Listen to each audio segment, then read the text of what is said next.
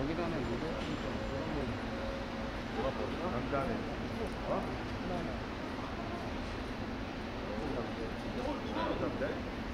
동현이야 동현이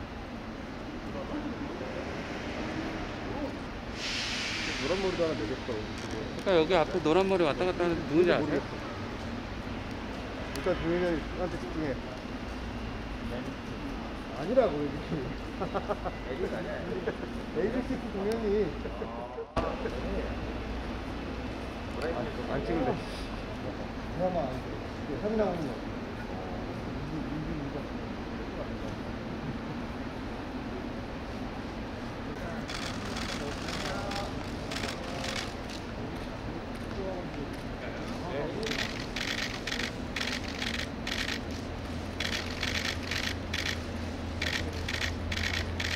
하트도 한번 해주세요.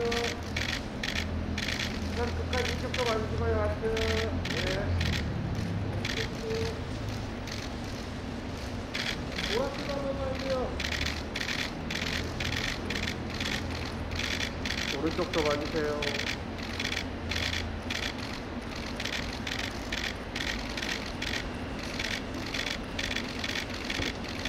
네, 고맙습니다.